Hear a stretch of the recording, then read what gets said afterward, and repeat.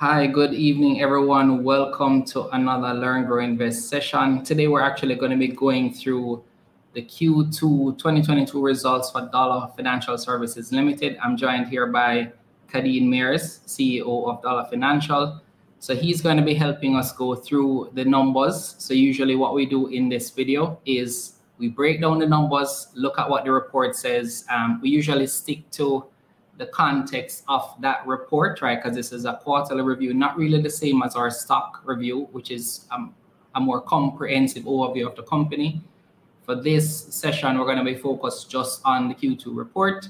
Now, since this company recently published an IPO, we made, you know, talk about the IPO a, a little bit to see if we are on track with some of the things that were promised but for the most part, everything in, in terms of the session is going to be contained within the Q2 report. So if you have questions, post them in the comments. We'll get to a Q&A right after.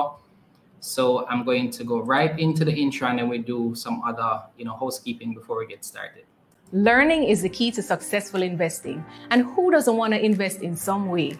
Here at Learn Grow Invest, we focus on financial education, all with the aim of sharing our knowledge on personal finance, investing, and building wealth. We do this on the foundation of our faith in God. If a more holistic approach is what you need, check out our Grow Faith based financial coaching program. Find out more about us at learngrowinvestclub.com and follow us on all social media platforms at Learn Grow Invest. All right, great. Uh, so before we start, I'd just like to open with a brief word of prayer here. Lord, we thank you so much for this day. We thank you that you've given us everything that we need for life and godliness. We thank you, Lord, that you you've given us the ability to learn, grow, and invest as a community. We thank you for this medium that we're able to meet and discuss these matters. Give us knowledge, wisdom, and insight. In Jesus' name we pray. Amen. Amen.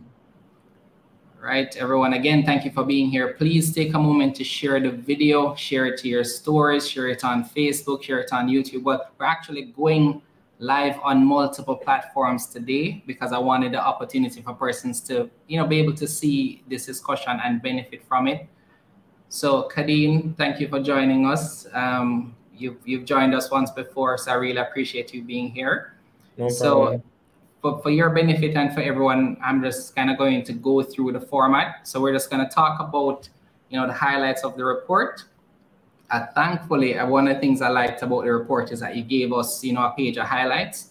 So yeah. we'll start there, and then we'll kind of break down the, the the MD&A portion. I'll ask you to comment on some of the things that we would normally be speculating on because we wouldn't have you here to, to go through it. And then at the end, we'll take any questions from the audience. No Sounds problem. Good? Sounds good. All right, great. So let me share my screen.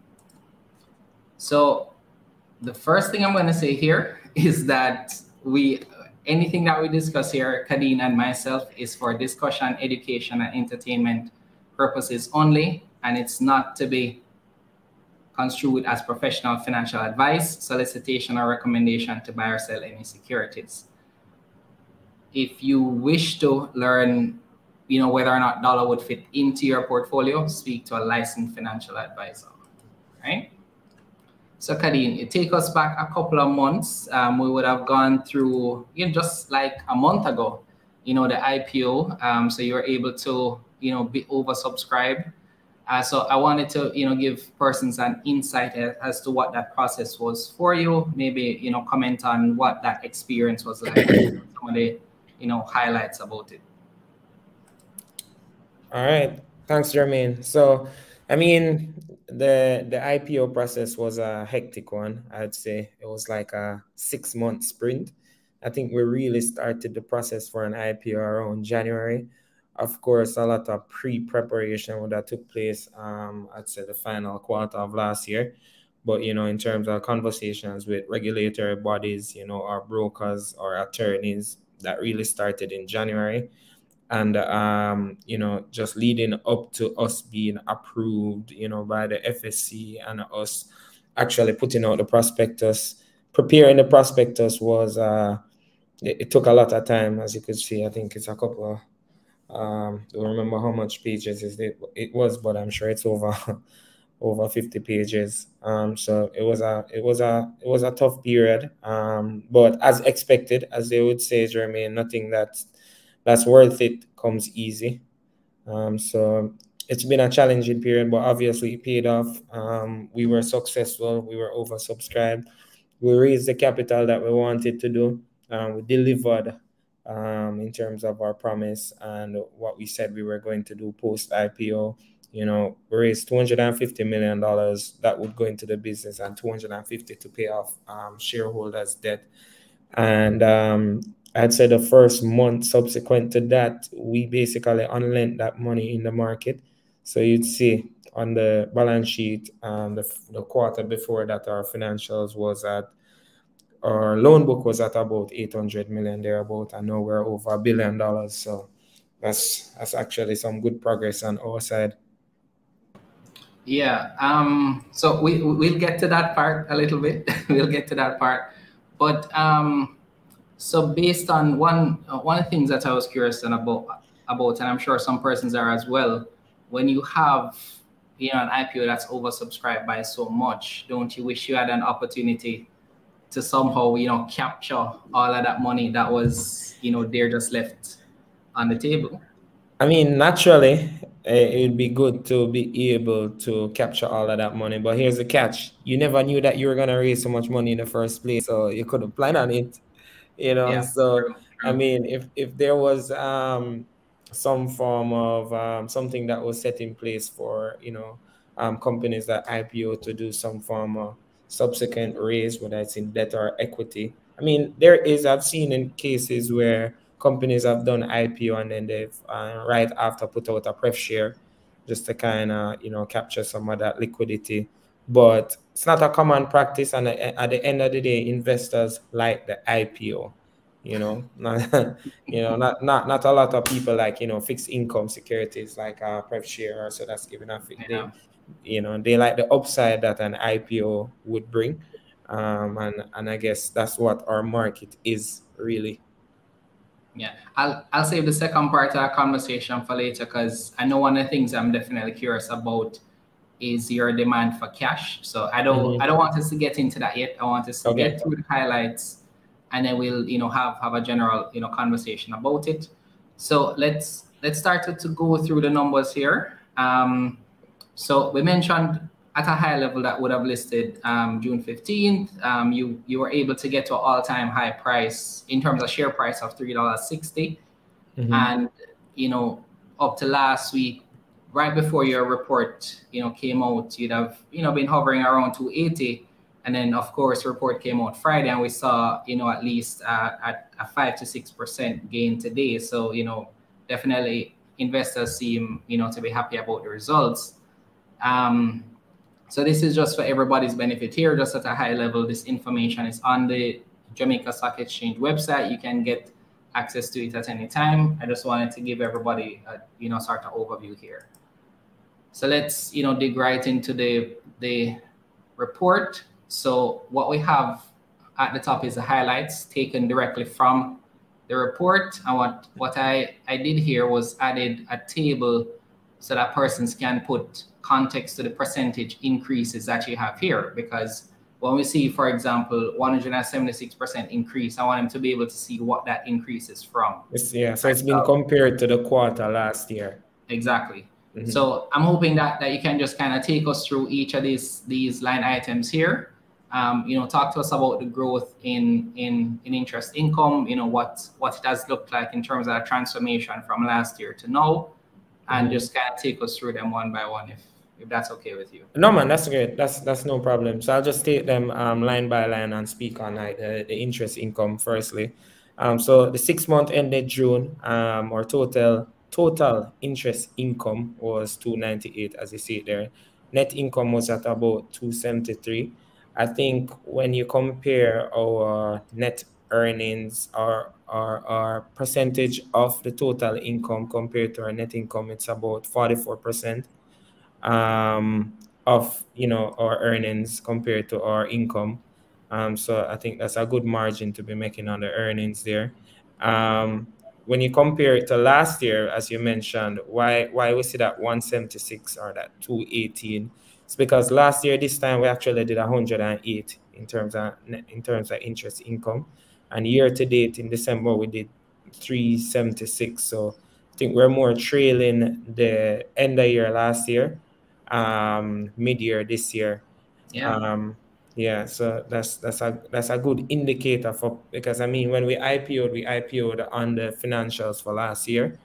Um, yeah. So persons would have bought in on that performance. So I mean it's good to see that you know as a company we're able to deliver and perform um, above the expectation and, and really satisfy the shareholders. Um, which which customer segment would you say attributed to um, you know a lion's share that gap?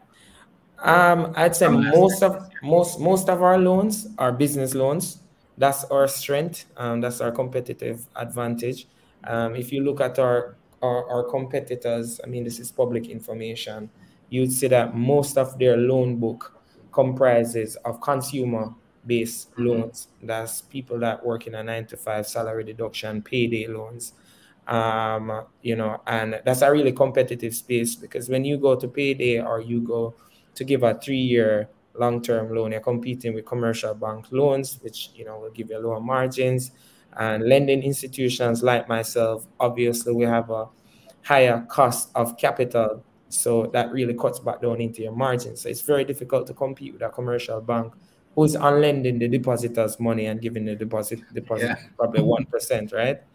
So no, one percent would be too much. 0.5 or or zero percent on most of your accounts. Yeah. You know, so so you know, um, what we've realized is that you know we have a niche, and the niche that we have that market segment for micro, small, and medium businesses is almost untapped um, because the commercial banks don't look much on those loans because they might think it's riskier. Yes, they do. They do. They see yeah. them as very risky. Yeah, and I'd say they see it risky because a lot of times, um, small, medium business owners they don't keep good financial statements or they don't keep the books in order in a way that it can be presented properly to a bank credit committee. So the strength that we have is that you know even though it might be a little bit more hands-on, we would still go visit a business location, see what the traffic is like, see what if it's a restaurant, see what you know how much people are in the line what's the average cost for our food. So we can easily do up our own financial statement for our business cash flow to see you know how, the debt service is. And of course where collateral is available we would use collateral. So um, that also helps with our delinquency. So you'd say that in terms of the business um, the business side as in business clients are growing at a faster pace because you do consumer loans as well it's just not your focus right Correct. We do it. Um, I think if you look back on the on the highlights um, that were sent out, um, I think consumer loans. I'll, I'll pull it up shortly, but the uh, majority of it here as well in, in case if, if, if you remember where it is exactly, I could go to it. Yeah, I, had, I, had, I, had, I had, posted it on my my Twitter, so I'll just pull it up here so that. All right, let's try and find it here.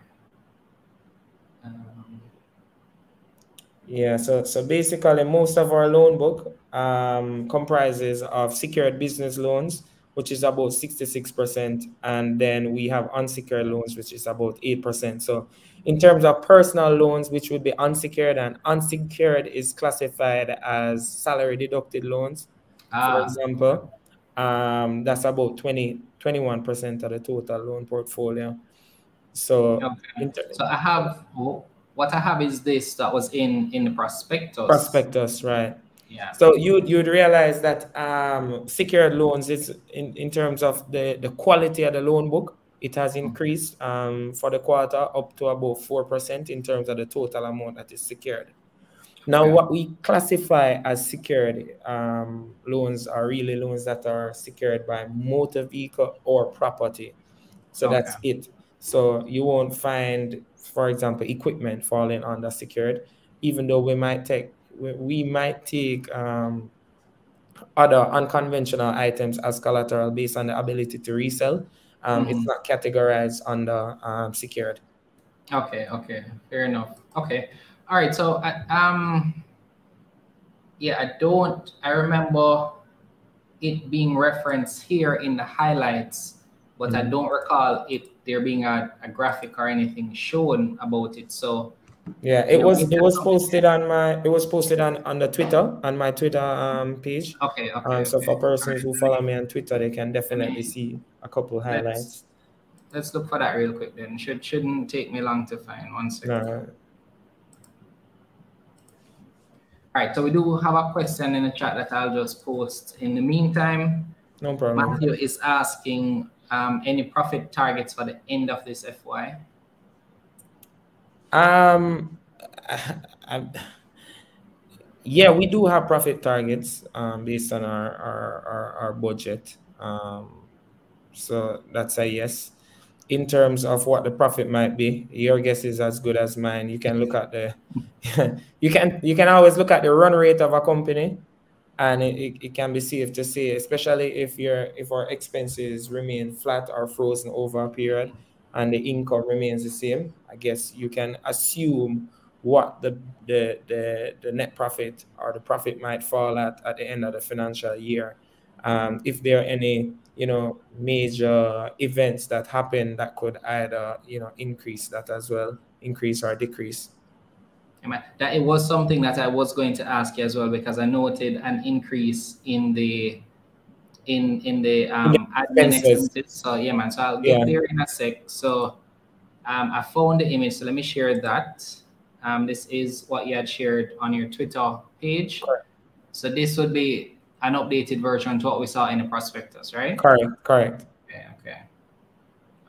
All right. So so the move to to to secured is there is it that is it that you're targeting more secured or it just happened to work out that way? What's it is it is it something that you're trying to narrow the unsecured to a certain percentage? What's what's the So, so yeah, what what what prior to COVID, our loan portfolio would have been very similar to our competitors, say one to seven in terms of um, business to consumer loans.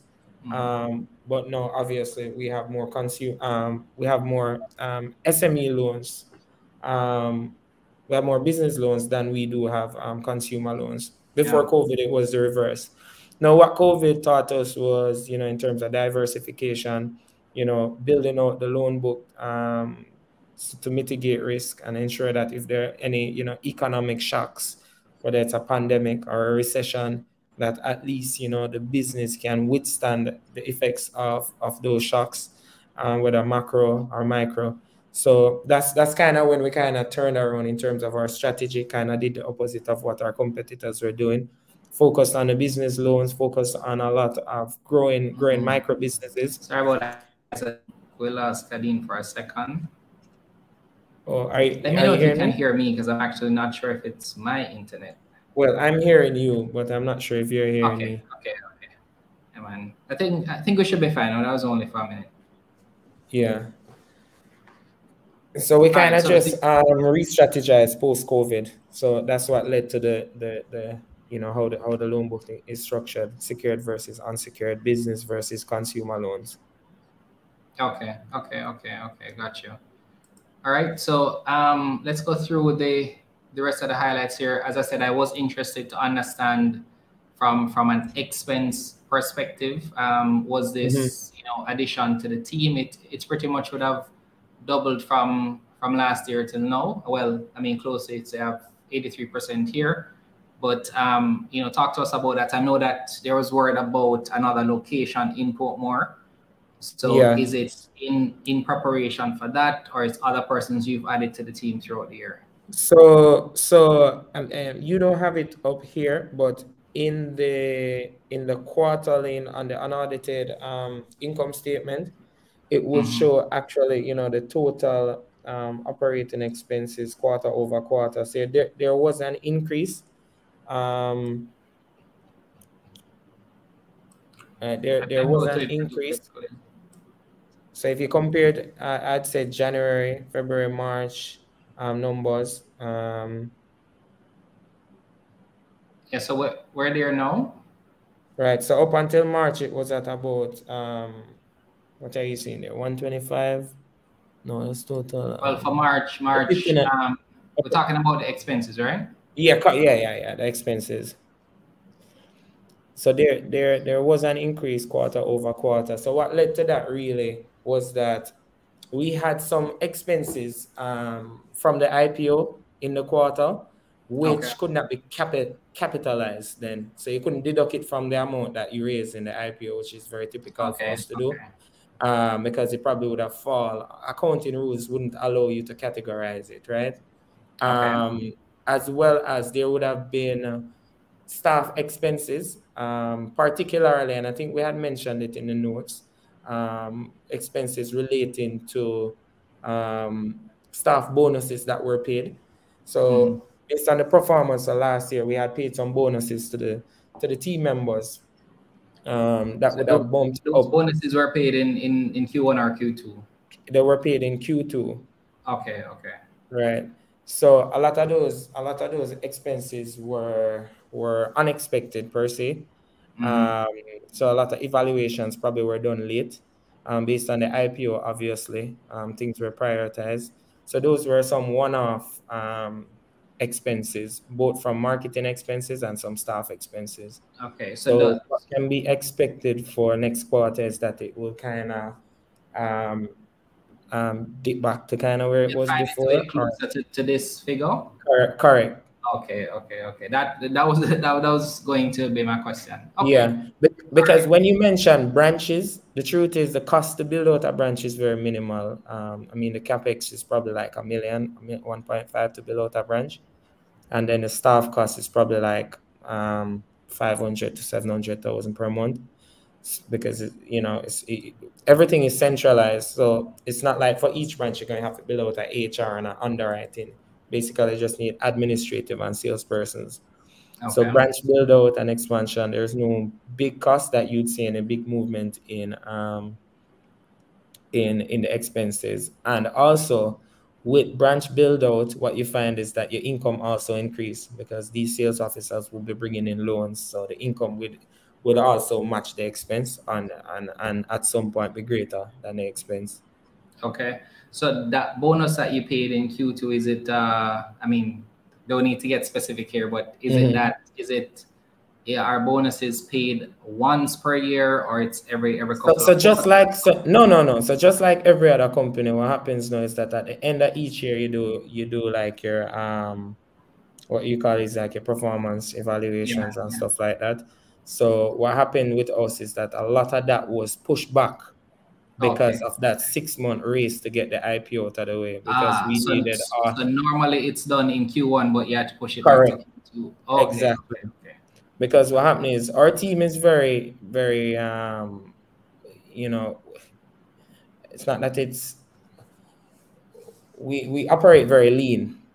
Mm-hmm. Right. So what you find is that when we call for all hand, hands on deck to meet a, a deadline for an IPO, um, no, and nobody's focusing on their bonus at that point. Everybody's just yeah. focused on, you know.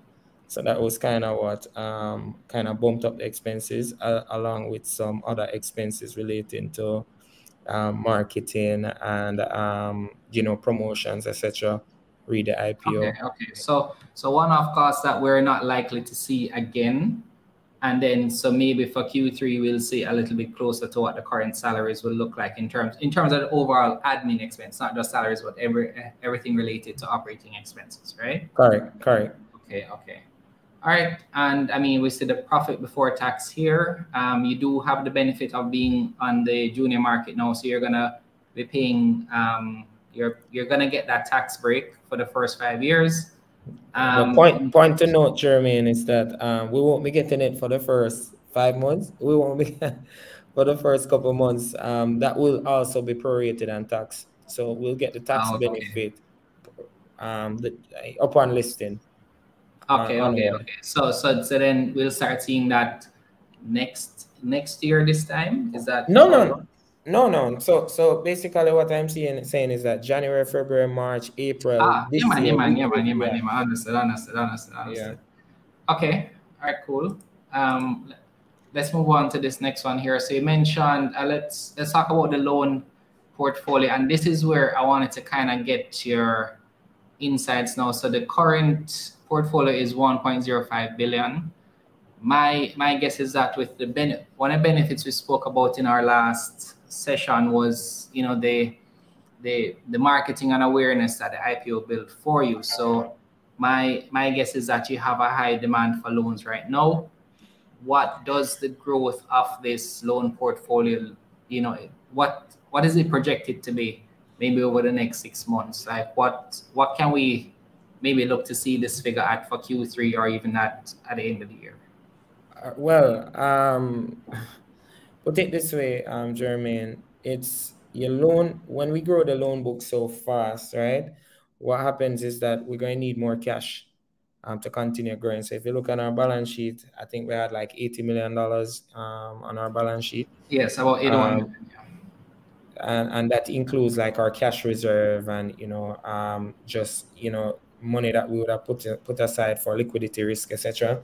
Um, so what you find is that in order to continue to grow the loan book at the rate of the demand, um, we would have to, you know, raise some more capital just to continue to grow. Because we we raised 250, right? Um, in terms of cash that came to the company out of the 500, and within the first month, we were able to unlend, I'd say probably all of that money. Mm-hmm you know? So so that goes to show that we can easily lend between 100 to 200 million dollars each month. And as you said you know the ipo the marketing and the brand awareness that was brought about by the ipo that really is driving a lot of demand. Um so so we definitely want to grow with the rate that the demand is. So we're just considering you know different ways how we can continue to push Okay. So in terms of um, so you're, I believe I asked you this as well last time. When when when somebody takes a loan, mm-hmm. um, I think I'd asked you about the average loan duration.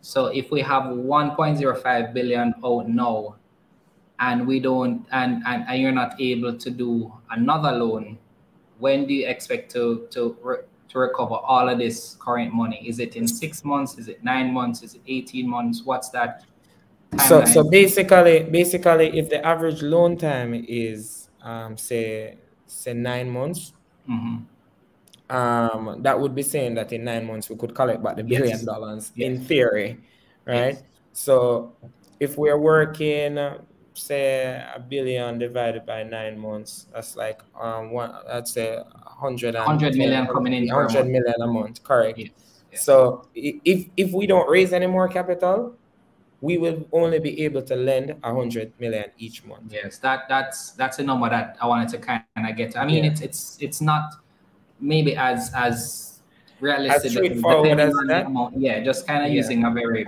very yeah because you have early repayments and you'll also have late repayments, right? Yes. Um, yes. but but but the key thing is, the, even if the demand, even if the the, the we were able to collect 150 million in repayments per month the mm-hmm. demand mm-hmm. is about 250 per month.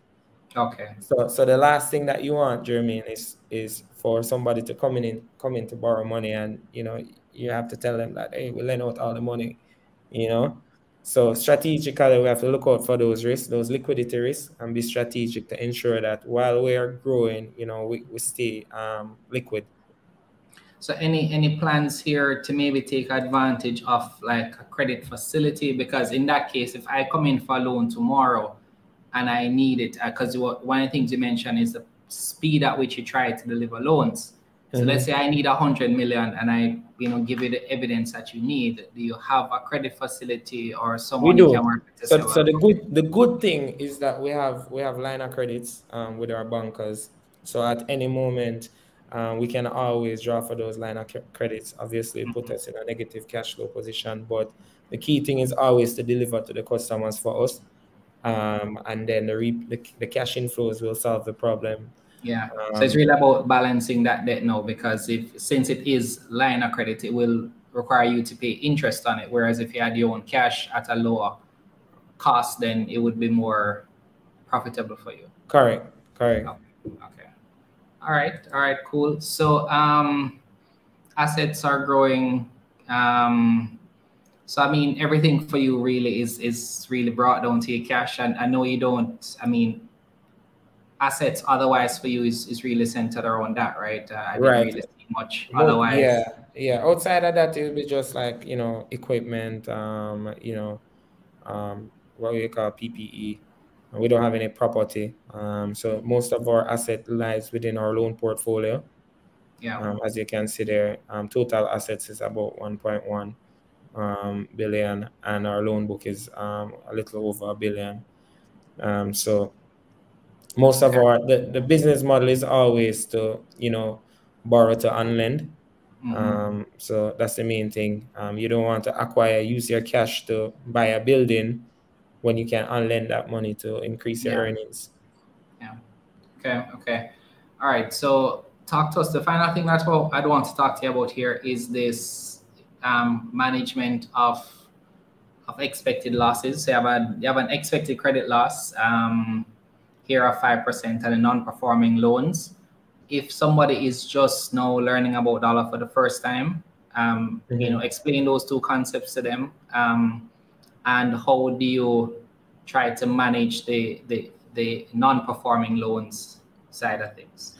All right. So just for clarity, then, in in the ease in an easy sense of the words, non-performing loans are typically loans that are past like 90 days. Once it hit 90 90 days, those loans automatically don't accrue any interest anymore. Um, in terms of um, expected credit loss, which is kind of similar as an indicator to you know how the loan, the, the quality of the loan portfolio. Expected credit loss or ECL is a form of provisioning, but it takes into consideration a lot of other factors, including the economy, um, including if a loan is secured or unsecured. Um, and it, it's a lot more technical to arrive at this um, ECL provisioning versus just saying, oh, the loan is at 90 days, so um, it's non-performing. Um, so, so those are the two two main things that are used to really assess the, the quality of the loan book. For our industry, um, you know, the expect the expected credit loss or non-performing loans is at about 12 to 15 percent, and based on what our competitors are doing. So we're doing significantly better in terms of our uh, the quality of, of our loan book. Actually, we're more in line with the the commercial banks in terms of our non-performing loans. Okay, okay. So even though it gets to that non non-performing stage, you're still trying to recover it. Correct. Um, it's just that when, when you get to that point, you're gonna, you know, say it's non non-performing. So there's an understanding that there's a risk that you won't be able to recover that the longer it goes into the Correct. future. Not only that, but you're not earning any money on it, and it's just sitting on the road. You know, Yeah. so so you So, so, so, so as, when you as say low not earning on it, and I know Mhm. I know typically there is either late fees, penalties, things like that. Is it that it's incurred but you don't expect to recover it? How does that normally work? Um, so so you won't be earning any interest on it, and um, in terms of the late fees, um, you you you you collect the late fees. Um, once the late fees are added to the loan portfolio, it will be accrued, um, and realized when a payment is made. Okay, okay. All right, thank you for that. So what I wanted us to do next um, is kind of go into just, I mean, it, it's been a little over a month. so just kind of look at uh, the price history in terms of the JSE, this is something that we normally do as well. Mhm. Um, so you know, closed today at at 295. I know one of the interesting things you've said is that um, you you see that you you see your company as a long-term investment. So Right. I mean, how how do you feel about the overall performance? Um, is it how, how how do you normally you know think about this? So it, it's it's not even to comment on the price per se, but I'm Mhm. always curious to to find out how how CEOs think about their their share price. Is it something that you try to um, not necessarily manage, but is it that you try to be well? Just, just tell me your thoughts on it. Let, let me say it that way. All right. So so so I'll tell you my personal opinion on stock prices, right? So you have two form of investors. How I see it, you have investors that invest for the long term. These are normally people who focus more on the dividends. And the dividends will be a reflection of your earnings or your net earnings. And the dividend policy will determine how much money that you get paid out as a shareholder based on the amount of units that you hold. So you have investors that hold and invest like that, like a Warren Buffett, for example. you know, they don't get up and watch a stock price to see, you know, where it is. They want they worry more about the performance of the, the company. Then you have persons who invest based on stock prices, who they'll go into the market and they'll buy and they'll flip a stock. They're more like day traders, right? So nothing is wrong with it. It's just your investment um, technique or, or what works for you. For me personally, I'm a long-term investor because I've seen far many two times or far many too many times where I personally might invest in a company and then I make an upside and I sell it. Three years later, I'm like, why did I sell that stock? You know, because it's like somewhere that I never imagined that it would have been, you know. Yeah. And imagine buying like an NCB stock like back in 2000, early 2000s and holding it and seeing it where it is today, you know, even though it's 15 years later, you know, seems like a long time, but some you have to have a mix of your portfolio that you you buy and hold, as as a lot of like a Michael Lee-Chin would say, buy, hold, prosper. Um, you know, once it's paying a good dividend, then it's for me it's a good stock. Um, well, it's, it, it's, it's interesting that you'd say that because currently you don't pay a dividend. So is it right. that you're I mean, heading there? Is that that's your overall strategy? It's, it's early stages, bro. I mean, just yeah, but it is. It is. I'm just, I'm just, I, I just wanted to say that part because I kind of hear somebody asking that question. So since you mentioned yeah. your your your personal investment strategy, it, it mm-hmm. not far fetched to think that may, maybe that's how you kind of envision Dolla growing into to be able to one day pay a dividend to its shareholders and for sure for sure for sure for sure and of course not to say but our stock price is very important to us hence why you'll see you know we ensure that we put out our numbers early. We don't wait until 45 days or writing that oh sorry the numbers are late. I think it's very important for the numbers to be presented to the shareholders so that they can make their financial decisions early and know exactly the direction that the company is headed in. Um, so, I mean, as you said today, the information is out, the stock price trended up. Um, so I guess that's an indicator of, you know, just how the confidence that people have in the stock now. Yeah. So um, you just kind of, I'll share it again for everybody to see. So, um, I mean, price has been after that. So it's normal, um, you know, for those who are unaware, it's normal for IPOs once once listed to have a little bit of a run up. I believe that's what we're seeing here. And then some amount of correction. Now, nobody knows when the correction will come, but there's always a slight correction, right? Stock prices don't only go up. Since that minor correction, though, the price has been holding steady um, around the 280 mark, as I said. And then, you know, today it made its way to about $3 and then settled at 297 so I mean, it it's from from from a month perspective, you know, being 200% up from IPO is is not a bad place to be, right? Exactly. Yeah. All right. Um, and, so and it's good. I mean, it's good, Jermaine, for I feel good to know that, you know, we had 14,000, you know, shareholders and people yes, were able yes. to take profit. People were able to be happy about the stock performance. Uh, there's nothing wrong with taking profit you know. And for the persons who buy and held on, um, I'm sure that their rewards will be great as well, you know. So the key is to always invest in a company that you understand and always, yeah. you know, you know, I, I personally will buy Apple stock because I have an Apple computer or, or a Netflix stock or, or stocks that are simple and easy to understand. If you yeah. see our billboards, all it says is that we lend. So our business model is very straightforward we lend money, we collect fees and interest income. And it's a very easy business model for our shareholders to really absorb. So I guess as we continue to grow, the, the stock price will be a re- reflection of the growth. And when you invest in a company, you, you buy into the future value of the company. So um, I, I, guess if we're, we're going to be continuing to grow, then I guess the stock price will grow as well. Fair enough. Fair enough.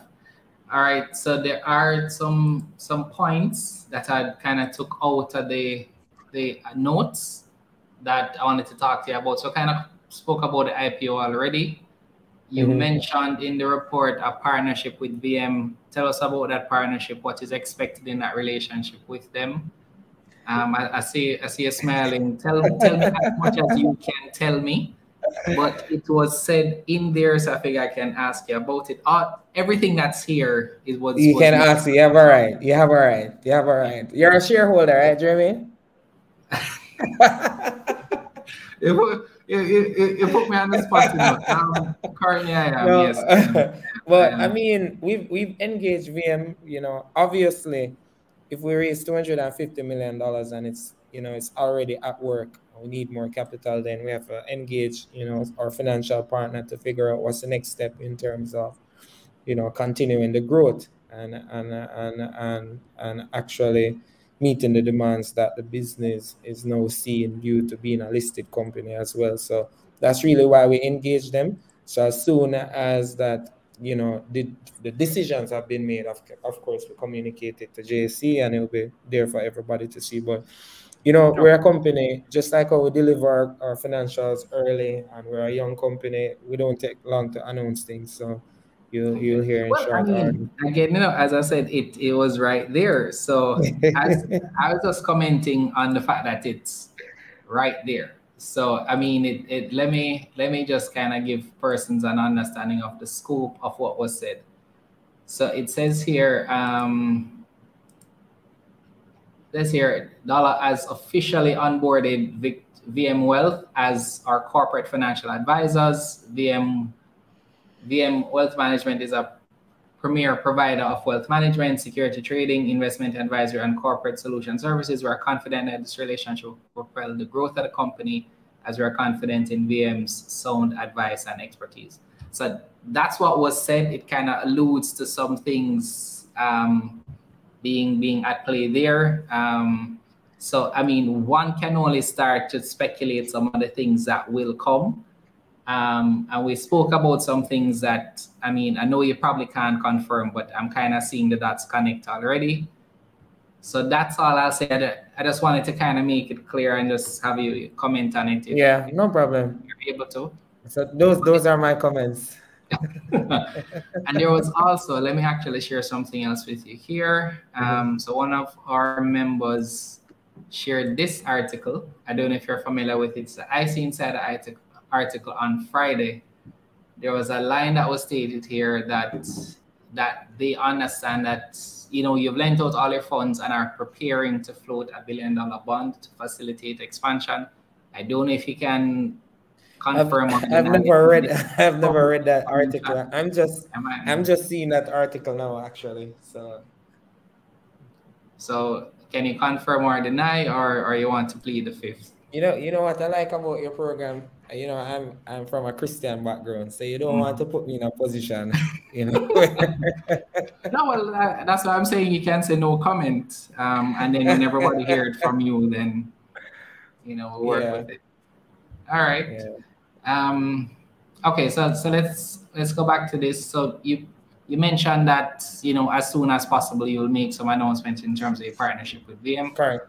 Can you speak to the partnership with with, with RTA RTA.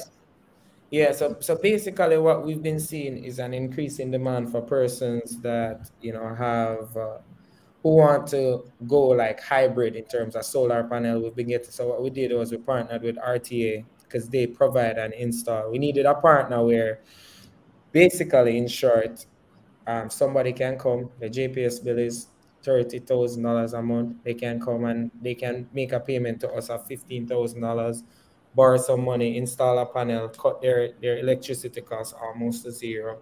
And, um, you know, we have the experts that will ensure that it is installed. And worst case, if we need to uninstall it, they're also our partners. So um, that's kind of what the partnership was about. Okay. So is it is it an exclusive partnership or you're allowed to work with other similar providers? No, we, we are we, we are allowed to work with other providers, not exclusive, but it's the start of, you know, we're about sustainability as well, even in our lending. And, you know, we're big on, you know, green energy, the environment and all of that. So um, strategically, it was a good way to put our, ourselves in that category as well because a lot of people talk about it, but they don't do it. So um, we really wanted to find a partner and see how many people we can help um, to, you know, get green energy. Okay. Okay. Okay. So what other types of partnerships may may you be looking at, right? Because I um I figured that because this is a partnership, is it's, it's sort of like when customers come in, they refer, you get that business, etc. So it's not right. like um are there any type of other ways you see yourself, you know, potentially partnering or you know anything i mean we have we have other we have other partnerships in different segments like oh this is in renewable energy space we have partnerships in the medical space just the same way with our mm-hmm. Medipay where we partner with orthodontists and um, doctors who who do cosmetic procedures and stuff mm-hmm. so we have different partnerships in different industries even in the bpo space as well um, we're probably one of the larger lenders in that space so for us it's all about identifying the industry, finding the persons who are leaders in the industry, partnering with them, see how financial services and financial inclusion can actually help to grow their industry. Okay, okay, okay. All right. Um, so let's talk about Guyana. So have us, you know, give us a, an understanding of how things have been trending there. Um, you mentioned in your report looking to expand there as well. Let me see if I can can quote you. so Dolla Guyana Inc. is seeking to expand its footprint, stepping outside of Georgetown to capitalize on lucrative opportunities arising from Guyana's rapidly growing economy. Correct. Mm-hmm. So so we opened the first location. We've been incorporated for about two two to three years um, but we actually got a chance to open location after the pandemic um, at around summer last year. And since then, it took us about six months to break even and uh, grow the loan book to a point where it's self-sustainable. So right now, Dolla loan book, Dolla Guyana loan book is at about 130, 140 million Guyanese dollars, which which works out to like 100 million Jamaican. And okay. uh, basically the profitability of Guyana. Guyana is profiting roughly 12 million um, Jamaican equivalent per month. Okay. So, so there, there, that's a, actually a very good. If you annualize that, that's a very good number for them. Um, in terms of their performance, it accounts about nine percent of our overall profits.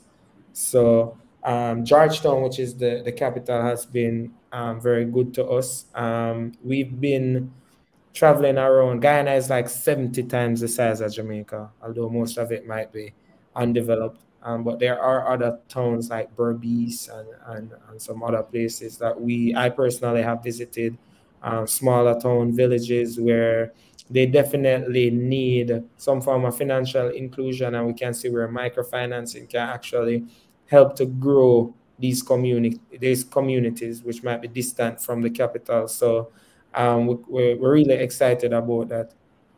Okay. Any timelines for that that expansion? Is it within this fin- this financial year? As you know, once we raise capital, once once we once we raise capital, we're back at work again. You know, okay. so so you know the the main thing is when you open a new branch or enter into a new jurisdiction, um, you always want to have the capital um, to unlend when the demand comes. So what we try to do first is to always to raise the capital first, um, while we strategically move into new territories or open new branches. Okay. Okay. Okay. All right. And finally, we have here, well, in terms of my questions, really, um, mm-hmm. business and portfolio outlook for maybe the, the rest of this this this financial year. Just any any high level comments or thoughts on on that. What can we expect in terms of um, you know, the remainder for the year? Anything that, you know, you're allowed to, to tell us in terms of expectations? Um, you know, lots of things in terms of what you would have, we saw where you would have, you know, unlent the funds that you got in the IPO already, but what's next? Mm-hmm. What can we look forward to? in the next few um i mean the next couple months is always about being strategic um new products definitely we'll be launching some new products um, new branches, um, you know, new jurisdictions. That has always been said, has always been in our pipeline. Um, you can always look for us raising capital, raising some more, whether it's debt or equity. That's always a part of our business model. Um, our balance sheet is very strong in terms of debt to equity, as you can see, we're about 700 million in equity. So um, you can we can always leverage that up a little bit more to get some debt to unlend. So you can see us. I mean, strategically, um, we as a management team make the, the, proposals to our committees, and then it's brought to the board.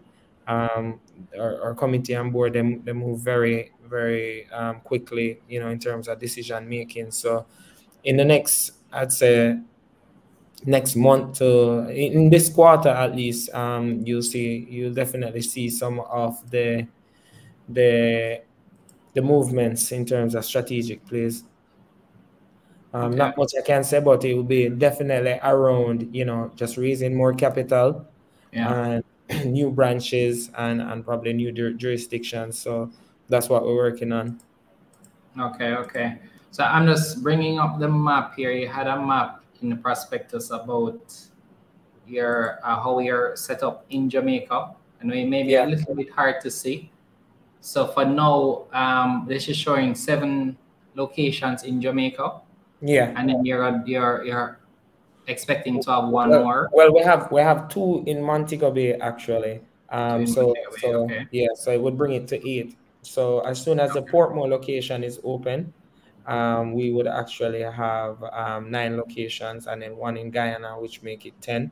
Um, okay. we, we are scouting locations. Um, one of our shareholders um, gave us some some um, ideas for new locations, which we're following closely on Twitter. So we're actually looking to those places to see how, how best we can open some new locations because the our business model is always to build relationships through branches. Um, so we like to have the branch presence. Okay. Okay. All right. Um, so I'm gonna stop sharing for a second. I think um, well, everything that I wanted to kind of touch on at a high level, we are able to cover. Just gonna kind of scroll through my notes here quickly. I think we got it. Um, so we're gonna take some questions from the audience now. So I'm just gonna bring it up on the screen. I think you should be able to see it as well. Mm-hmm. Um, so Matthew asked the first question, so we got that one already. He was also asking, you know, how many new customers um, since IPO are you able to give us like? Yeah, sure. Um, it's about ten percent. It's about a ten percent increase in terms of new new customers um, since IPO. Okay. But I can tell you in terms of loan applications, it's probably like if we were getting 100 we're probably getting 500 now since the, wow. since the wow. so that's significantly greater um, but what this does is it gives us a pool of a lot more loans to choose the best loans from okay so there's okay. been like a 10% increase since okay great uh, derby is asking any plans to purchase access financial in the future well, that's a that's a um look, we, we're we're always looking for acquisitions, you know. So once once it fits well into our business model, you know, mm. um, we, we always look for possible acquisitions, not necessarily for that financial institution, but for any. Yeah. So so yeah, um, we're, we're definitely looking for opportunities, especially um, when we have um, capital on hand to do these acquisitions. Okay. So I know there was a mention around the IPO time about the microcredit credit act where now a lot of the smaller companies will have to be regulated and there's some kind of expectation that not all of them will be able to manage the cost of regulation so there may be opportunities for buyout but considering your capital state you know capital demand. thinking about? Is it you know something that it, it has to kind of fall into your lap first? Or are there you know companies that you're looking at already? You know what what what what can you say about that? We, we have looked at companies in the past um but I'd, I'd put back the question to you Jermaine. If if you can organically um unlend 200 million dollars in a month and there's a loan book to acquire for 200 million dollars what would you do with the 200 million that you have? Okay. Well i mean uh, yeah. It all depends right? Probably they have a, a, network probably they have you know. Yeah i was gonna say so, I'd, I'd, be thinking of things like you know what's a customer base? Is it similar to mine? Or there are opportunities for me to expand maybe have some different class of customers than i have now is it right. 200 million now but can it be 500 million in six months yeah. those kind of things so yeah. it's always strategic so it's not just about just buying the loan portfolio because it comes up for sale it has to yeah. has to make sense strategically um, so, as you said, um, the the new legislation will enact some form of consolidation and or sell off, and we just want to make sure that we're in a position to take full advantage of that when it comes, which I expect will happen probably, if not the end of this quarter, early final quarter. Um, yeah. You know, based on you know where BOJ is right now. Okay. Okay. All right, Damani is asking, would you be opposed to issuing preference shares to raise capital needed to online? No, we're not. We're we wouldn't be opposed to that. Um, you know, we're always we're always um, it's always debt or equity. So if we're going to do a debt, we'll probably do a simple bond, um, or consider it in a, in a in the form of a pref share, of course. Um, so we're not opposed to that. Okay. So so since you said you'd likely do a bond Okay, I'll, I'll just leave it there. All right, paper plate is saying with, with everything now that is you know kind of pointing to an incoming recession, is a company preparing for a slowdown in terms of I guess business or you know any sort of risk management in light of what we may be seeing around us? Yeah, so I mean, contrary contrary to popular belief, a recession brings a lot of opportunities as well. Um, you know, just as COVID, you know, COVID has made a lot of new businesses as well as it, it has destroyed a lot of businesses, you know. Um, so, you know, any form of economic shock um, does present some form of risk and opportunity at the same time. So I don't think that it will slow down. It will cause for us to increase our risk mitigation and in terms of our underwriting, etc be more robust in terms of the diversification of our loan portfolio, which we already have in place. As it, as I mentioned, 70 percent of the book basically is secured. Um, so there is some form of recourse in the event that we need to, you know, liquidate to get back our cash. Um, so, so we are always prepared for any shocker um, that might happen.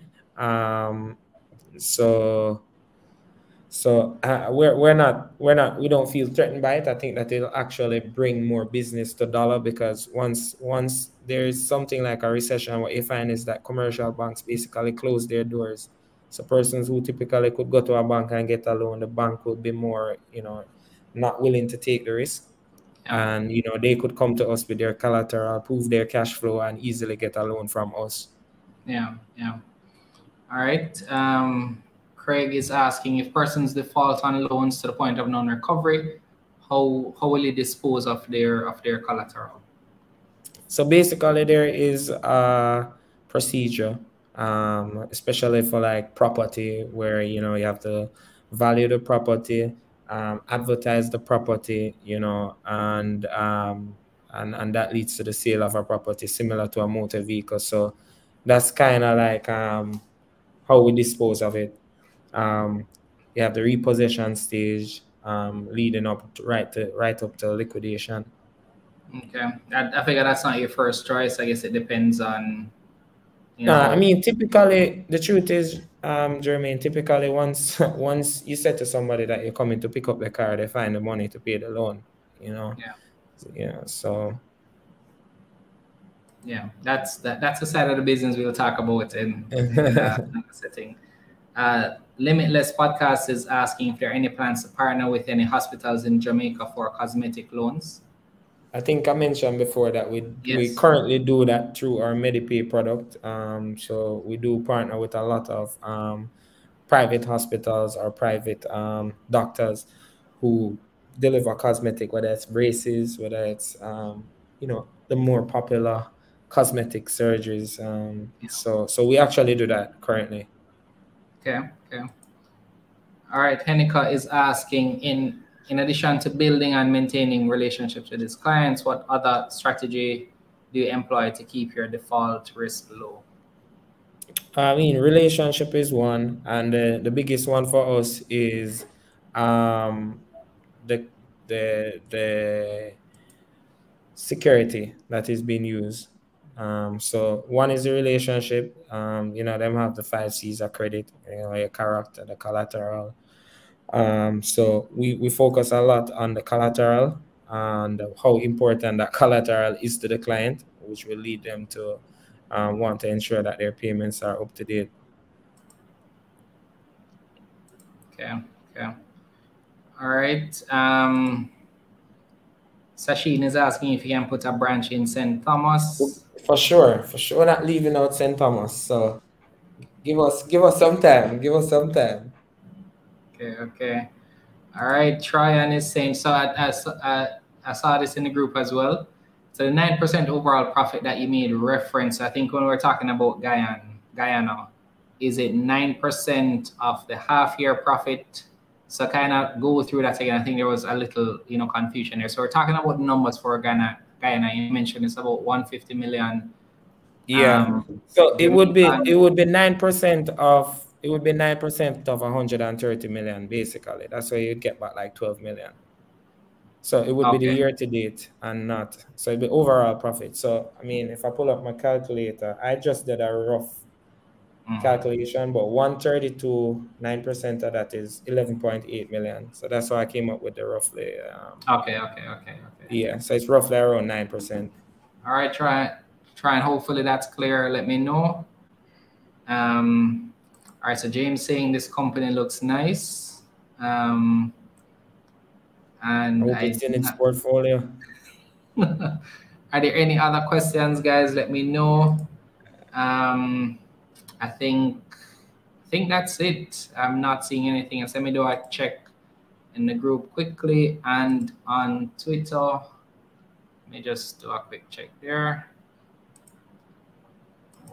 What I'll ask you, Kadeen, in the meantime, any final thoughts, anything that then anything that you want to comment on as it relates to you know the the the financials that maybe we missed? Just you know any final thoughts that you have for, for persons here? Um no i don't no final thoughts. I just want to say that you know having um having this kind of forum to kind of have the shareholders be aware of you know whatever is being disclosed with the financials and having to give, in, give them an opportunity to to really do a Q&A is really important to us and just to kind of engage with, you know, whether it's current or, or, or potential shareholders at a company. So um, you can expect us to, you know, use use a forum like Learn, Learn, Grow, Invest um, to really connect with, with the public um, on a quarterly basis. Great, great. And, and, and it's something that we're hoping that more companies will agree to, to do these kind of discussions because I, I know for me I'd love to just have more information right this was something I was saying to to to you earlier that I don't feel like as as investors we have enough information right so yourself who have been making the rounds going and, and doing as many appearances as you can that helps what also helps is probably us having access to those discussions and and that's why for us i know we're happy that we're on YouTube so everybody has access. The issue is maybe not everybody knows that you're having this interview right now. So there's still a, a, lot of work to be done, but I'm happy that at least we're able to get this insight. It means more for us, I think, to have the discussion the way that we did today than just me going through the, the financials and putting what I think is is what's happening. It it means more coming from you because you're the one running the company. So I definitely right. appreciate it, and I think this this helps investors understand the company a little bit more, and then they can make informed decisions that way. Right. Um, so Chantel is saying, not a question. She's just happy to grow with the company. Um, Limitless podcast is asking, are, are there any plans for a rights issue when JSE raises the limit? There's there's been talks about raising the limit to 750. Are there any plans for rights? I guess when when that comes up, we'll speak to our advisors and see if it fits. I mean, those talks have been in the pipeline for a while now. So, I mean, if it doesn't benefit us, I hope it, will definitely benefit um, some new junior market companies. I'm really looking forward to that. Yeah. And I think the final question here, Elrico is asking any update on your dividend policy? Um, no, I mean, it remains the same. Um, so I guess at the end of the day, the directors will determine that. And a big indicator for that is just to ensure that we have met the demands to grow the business and we have the cash in the bank to pay out to the shareholders. Okay, so what when would it be that you're meeting to discuss it? So that means um, we can turn up later on that time. I, I mean, I mean, declaration for a dividend is determined by the board. They can do mm-hmm. it um, a quarter on a quarterly. They could have determined it this quarter or the next quarter, or wait until okay. the financial year end. Um, so at the end of the day, it has to be strategic and in the interest of the operations of the company. Okay. Okay. All right. Uh, well, I'm not seeing any more questions. If you are watching the replay and you have a question, just post it under the video on any platform that you're watching this from. We're streaming on Twitter, YouTube, LinkedIn, and Facebook. I'll also ask you to follow us on those platforms. Follow Dolla Financial as well. I think they're on all of those platforms as well, including LinkedIn. I know I've been trying to grow our, our audience on LinkedIn. Not many conversations on investing on LinkedIn, but I know Twitter is very active. We do have a Facebook group. We have a Telegram group as well. But I'll ask you to join if you're not already in there. Kadeen is in our Telegram group. We've actually agreed to have uh, an informal discussion at some point. Um, so maybe we can work out the date for that. But I'm hoping that we can discuss maybe some, we, we, we have quite a bit of entrepreneurs in our group. We actually created a, an, an, an entrepreneurship directory. So I'm hoping from like a business perspective, maybe you can give some some guidance, you know, how how to, For sure your business, how to finance your business, you know, things like that. I think would be interesting to discuss. Something, you know, kind of outside the usual investing discussion. I thought that'd be helpful. So we'll, you know, keep you posted on that. Um, all right. So I think that's it. Thank you so much, Kadeen. Really appreciate it. Thanks to the team as well, all the persons working, you know, behind the scenes to make this happen. You know who you are. Thank you so much. And um, yeah, all the best. I, I'll see you next quarter. All right. Thanks for having me again, Jermaine. Always a pleasure being on the show.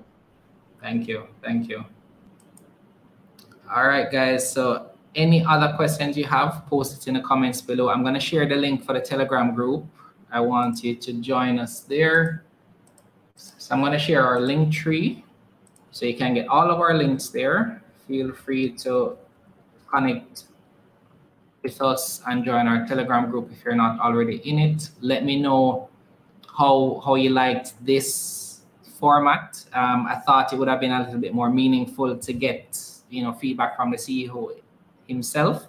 So let me know if you like this as opposed to our usual format. I think we got some more insights that we normally would have, but you know I want to hear your feedback on it. Uh, we do have our next stock review and analysis this Wednesday.